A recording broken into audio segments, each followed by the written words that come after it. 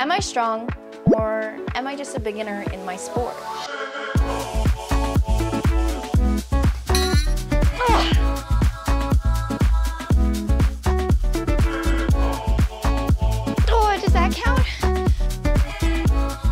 We are gonna be testing to see whether I'm an advanced or beginner calisthenics athlete using Overcoming Gravity's exercise charts. These are organized into a few different categories. We have handstands, pushing, pulling, and miscellaneous. I'm very interested to see what happens because my training for the last six months has been very specific. So I've just been working on one arm handstands, handstand push-ups, and muscle ups.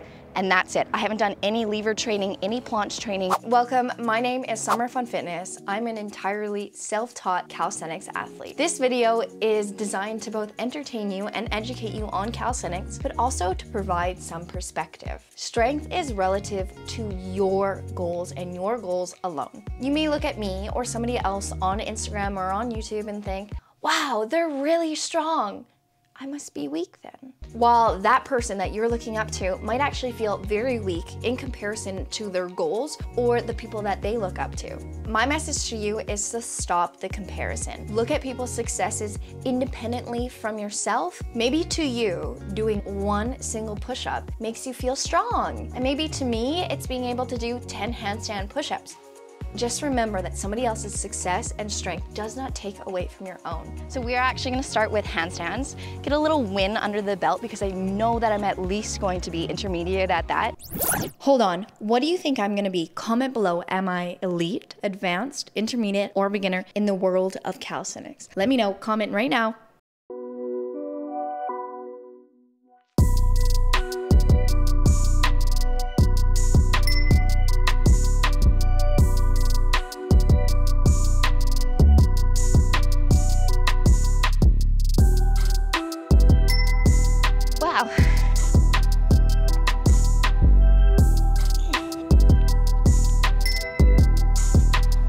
Next one I've never done before. It's an L-sit to bent arm press to handstand, and it's still considered an intermediate skill.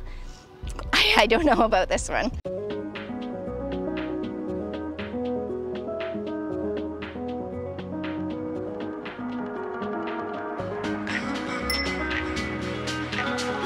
Okay, that was sick. First try, wow. I've never completed this skill before, so let's try.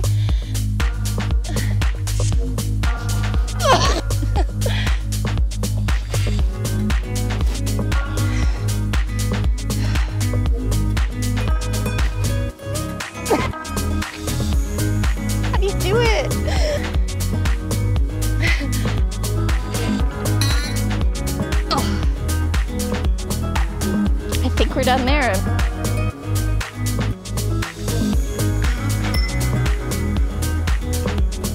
Okay, so this is the last one on the handstand push-up. It's just a deficit, I think. I don't know.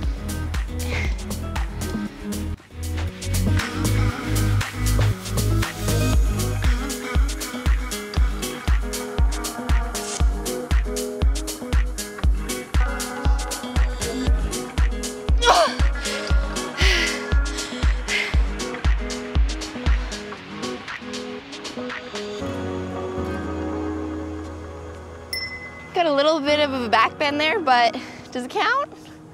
Count?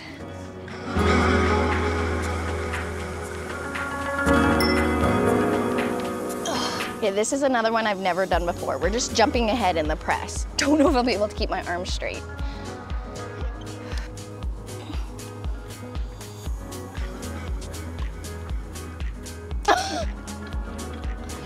oh, it's so hard.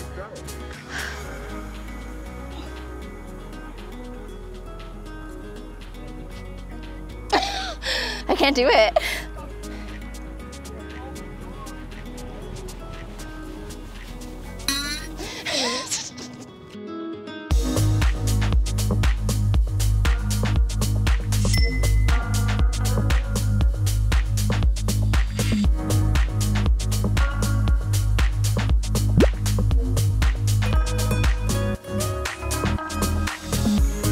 Okay, we're going into the pulling section and just taking a look at this. Pretty sure this is where I'm gonna be beginner, but let's see.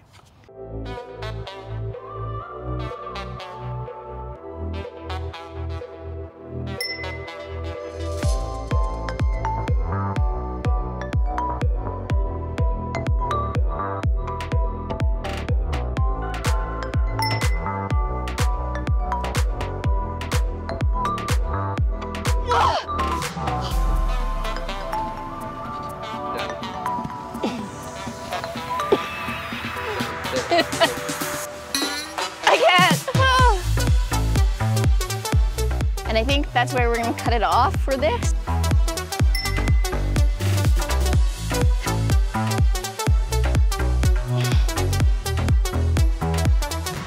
Oh, is that low enough?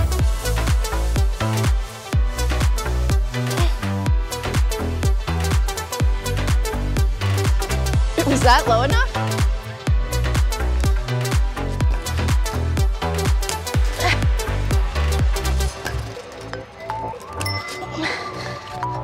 Count that as a medium. as a medium did it.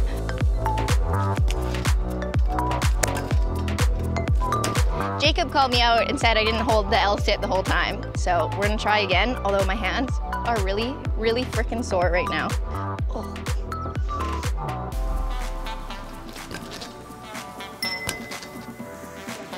It wasn't great, but.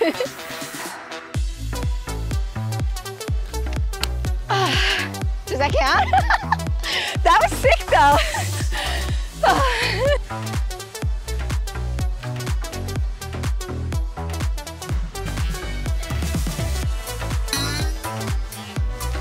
Oh.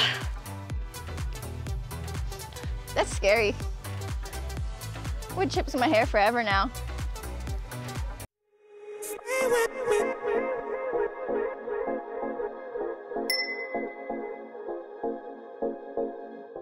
I think that if I was fresh, I might be able to do the advanced tuck.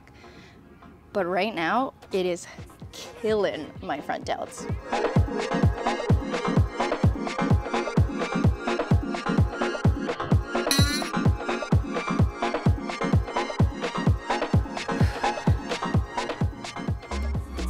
Oh. Not today, honey. Not today.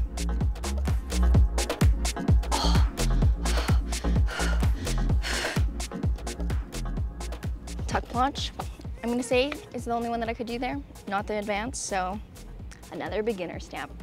Okay, one crazy thing about this list is we have weighted pull-ups, which we're not doing today because I don't have any weights with me. The most I've ever done is sets of five at 45 pounds. I'm 125 pounds. That's one third of my body weight or so. Um, but on here, it has 2.1 times your body weight for a weighted pull-up. It only has it in the advanced level, not in the elite level. Can you imagine pulling two times your body weight, that's a lot of weight to strap to yourself to do a pull-up. So I'm pretty surprised by that.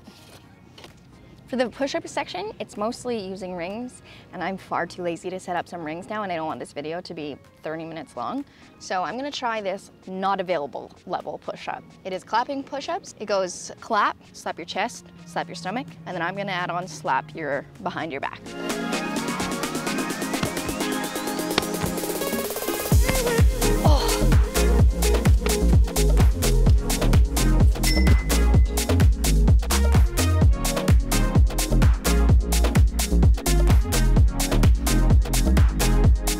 Glad I could do that and it counted for nothing. Onto one arm push-ups. I'm filming this just for you because I was actually gonna skip it because I know I can't do it. But that wouldn't be any fun, so let's try.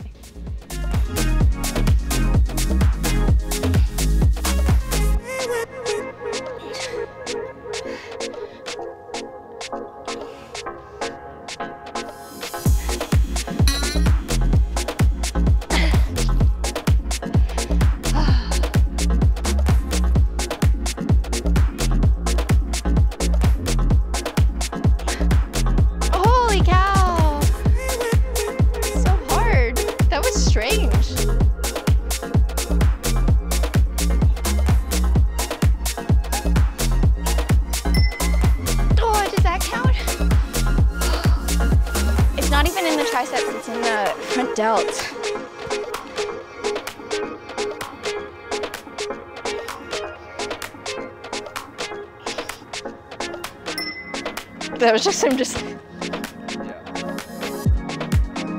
How would you take this hand off?